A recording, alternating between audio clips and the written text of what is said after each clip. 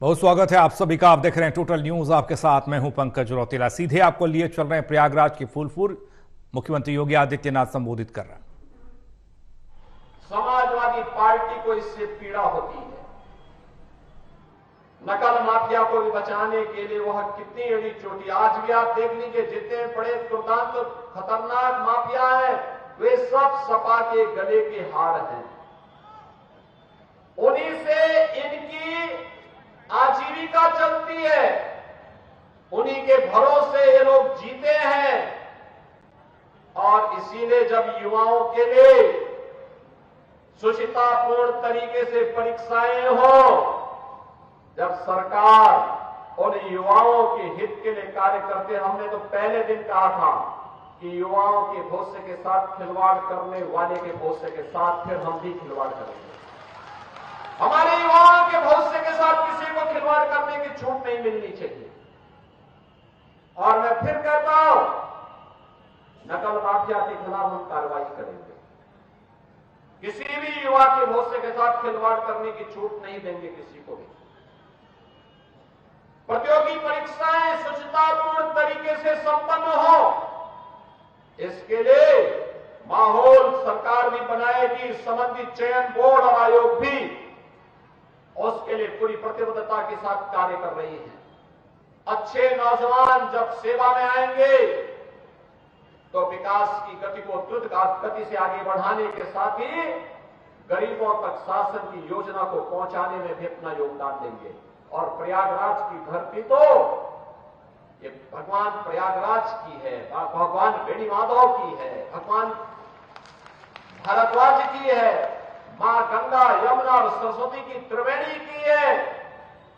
ये पावन धरा तो हमारे लिए एक ऐसी पावन धरा है कि प्रयागराज का कुंभ अब तो दुनिया के अंदर मानवता के मूर्त सांस्कृतिक धरोहर के रूप में प्रधानमंत्री मोदी जी के प्रयास से आज मान्यता प्राप्त कर चुका है बहनों भाइयों ये समाजवादी पार्टी राम मंदिर का विरोध करती है। दीपोत्सव का विरोध करती है। देव दीपावली का विरोध करती है। परीक्षाओं की शुचिता का विरोध करती है। विकास के कार्यों का विरोध करती है। गरीब कल्याणकारी योजनाओं को, जो गरीबों को लाभ मिलता है उसका भी विरोध करती है। यह तो केवल और केवल बांटने की राजनीति पे विश्वास करती है। बहनों और भाइयों, अयोध्या में 500 वर्षों का इंतज़ार क्यों हमें करना पड़ा क्यों करना पड़ा था? क्योंकि हम बटे थे।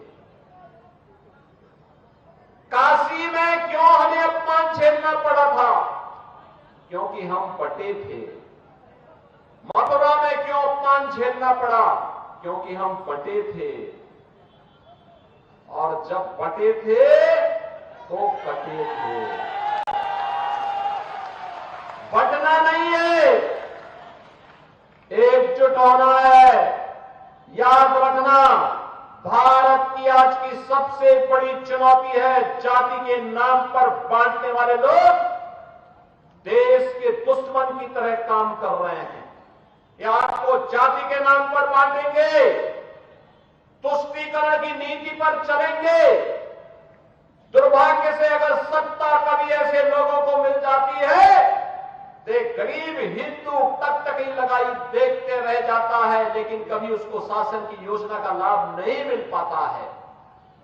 आपने पिछले दस वर्ष में देश के अंदर सात, साढ़े सात वर्ष में उत्तर प्रदेश के अंदर देखा होगा। छप्पन लाख गरीबों का मकान मिला। कोई भेदभाव नहीं। ढाई करोड़ से अधिक गरीबों के घर में शौचालय बने। कोई भेदभाव नहीं। लगभग दो करोड़ गरीबों के घर में उज्ज्वला योजना का रसोई गैस का सिलेंडर पहुँचा, कोई भेदभाव नहीं। बहनों और भाइयों, एक करोड़ छप्पन लाख गरीबों को फ्री में बिजली के कनेक्शन मिले, कोई भेदभाव नहीं। चौदह लाख किसानों के बिजली के बिल ट्यूबवेल के बिल माफ़ किए गए, कोई भेदभाव नहीं हुआ। करोड़ों किसानों के से हम उनके धान और गेहूँ की एमएसपी के दाम पर उपज खरीदते हैं। कोई भेदभाव नहीं हुआ। कोई भेदभाव नहीं हुआ। प्रदेश में 15 करोड़ और देश में 80 करोड़ गरीबों को फ्री में राशन दिया जा रहा है। कोई भेदभाव नहीं।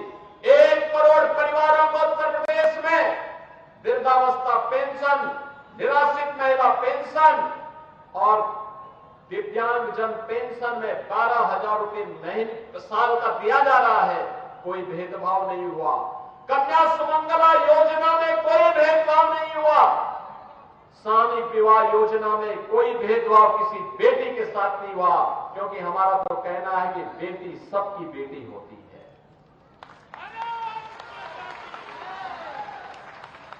आयुष्मान भारत में 10 करोड़ उत्तर प्रदेश का नागरिक पाँच लाख रुपए का स्वास्थ्य कवर प्राप्त करता है। कोई भेदभाव नहीं हुआ। हमने तो मोदी जी ने तो एक ही बात सिखाई, सबका साथ और सबका विकास का।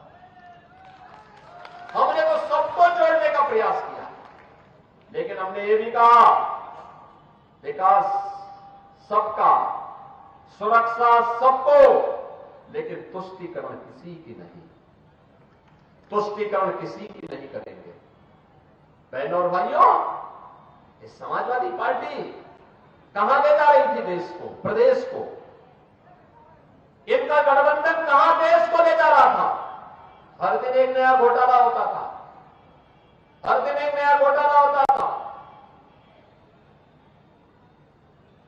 विकास सिंह को कोई लेना देना नहीं था। ये जो गंगा एक्सप्रेस वे बनने जा रही है, प्रयागराज को जोड़ेगी। पश्चिमी उत्तर प्रदेश से। मात्र छह से सात घंटे में प्रयागराज से आप मेरठ पहुँच जाएँगे और वहाँ से 45 मिनट में दिल्ली पहुँच जाएँगे। कितनी बेहतर कनेक्टिविटी हो गई। और इसीलिए बहनों और भाइयों, में आप सबसे कहने के लिए आया हूँ ये समाजवादी पार्टी आपको गुमराह करेगी। इनके तमाम ऐसे लोग घूमेंगे। सोशल मीडिया प्लेटफॉर्म में आपस में लड़ाने का कार्य करेंगे। हमें इतिहास से सबक सीखना है और मैं इसीलिए कहने के लिए आया हूँ कि प्रदेश सरकार ने जो आपसे कहा था, आप याद करिए, इसी मंच पर श्रीमती जयापाल भी है। पूजा पाल भी है। क्या हुआ था इन लोगों के साथ? किस प्रकार का अत्याचार हुआ था? कोई पूछने वाला था? कृष्णानंद राय भारतीय जनता पार्टी के विधायक थे। क्या हुआ था उनके साथ? कृष्णानंद राय के साथ रमेश यादव भी थे। रमेश पटेल भी थे सात अन्य लोग थे सबकी निर्मम हत्या कर दी गई इस समाजवादी पार्टी से जुड़े हुए माफिया दुकांत माफिया।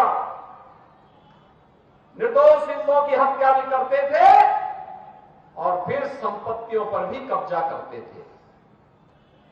व्यापारियों का अपहरण करते थे। बेटी की सुरक्षा में सेंध लगाते थे। धार्मिक स्थलों पर कब्जा करते थे।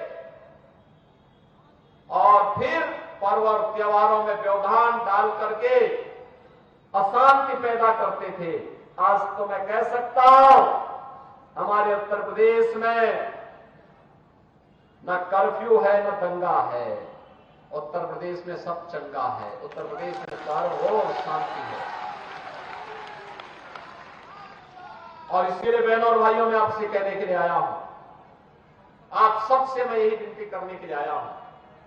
भाजपा के लिए चुनाव एक मिशन है, सेवा का। सेवा का एक मिशन है। समाजवादी पार्टी, बहुजन समाजवादी पार्टी के लिए चुनाव एक व्यवसाय है।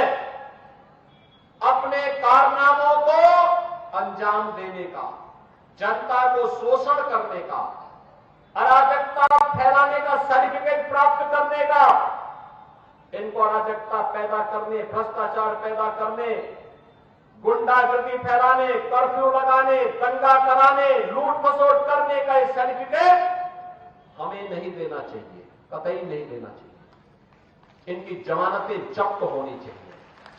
और यही कहने के लिए आज मैं आपके पास आया हूँ। भारतीय जनता पार्टी, अपना दल, निषाद राज पार्टी, हमारे जितने भी